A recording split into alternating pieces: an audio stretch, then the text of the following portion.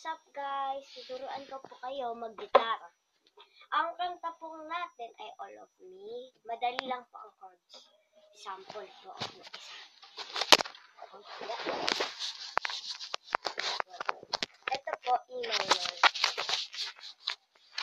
E minor. Hindi dito. E minor po siya. Patingin mo, hindi ganyan po.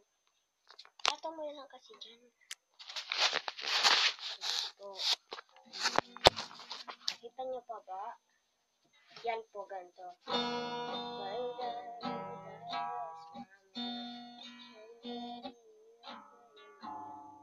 Ang chords po nan ay E minor, C, G, D. Ganito po ang E minor. Dito po.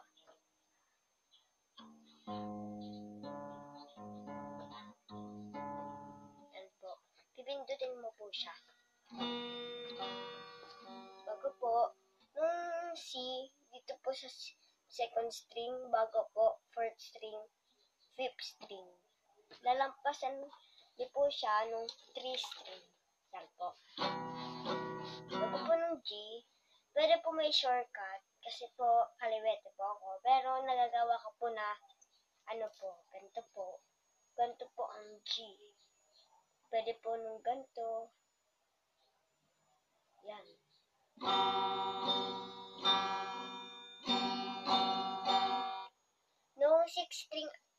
String, tsaka po nung, nung pang-unang string ko.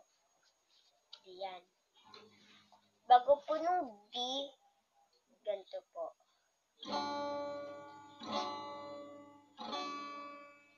Ito po, third stanza and second stanza, first stanza. Ganito po. Ganda, dapat po gantong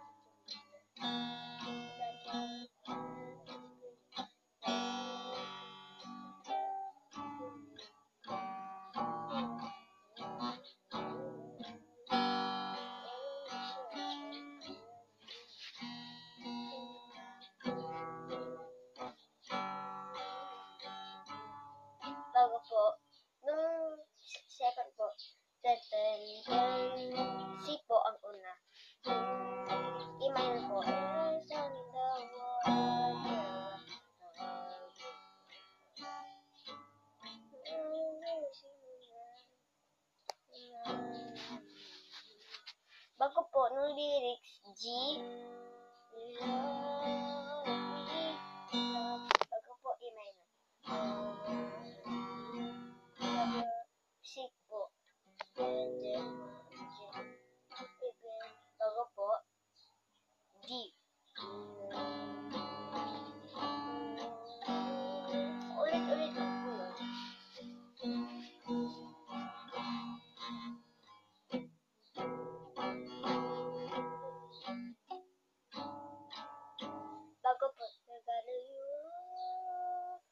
E minor po, I got you.